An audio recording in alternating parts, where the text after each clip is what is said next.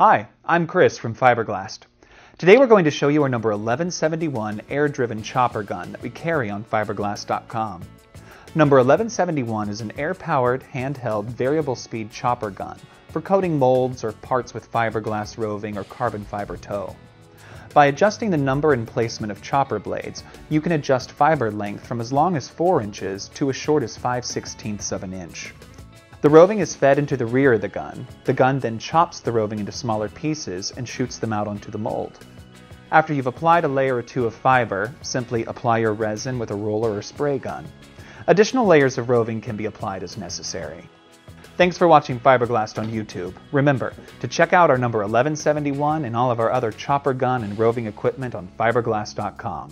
If this video was helpful, subscribe to our channel and like this video.